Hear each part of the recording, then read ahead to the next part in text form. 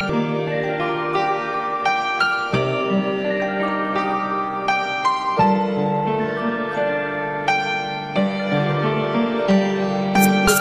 up, I was a young fool.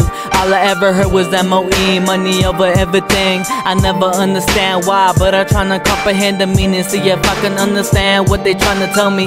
Years gone by, now I'm finally on my grind. Pen in my hand and pad in the other. Now I'm calling myself a throat ass essay. Thanks to that boy T and Lucky Luciano.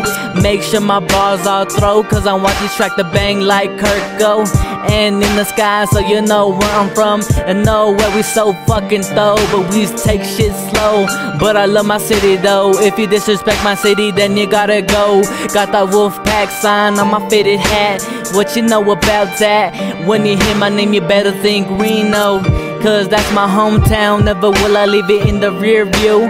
That's why I want that shit tatted in my skin so I don't forget where I'm from. That's 775, the biggest little city that you ever seen before. The home of the wolves, where we got the talent, but they overlook us cause we got that violence in our city. Man, I hate this shit, but I gotta admit I love my city. I put it down for my city.